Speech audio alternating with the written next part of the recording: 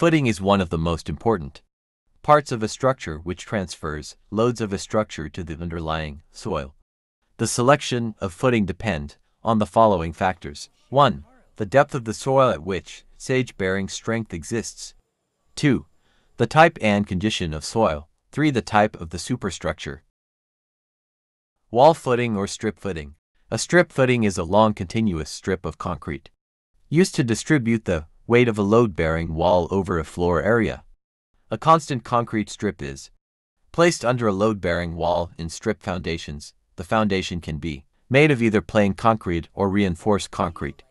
Strip footing is the most popular type of footing.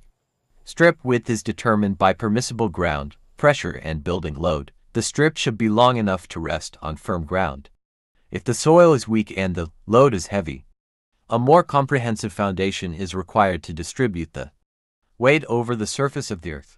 Soil properties also determine depth. For example, in clay soils, the footing should be deep enough not to be affected by volumetric changes due to the seasonal movement of trees. A fine sand, gravel, and silt depth are required to minimize frost heaving.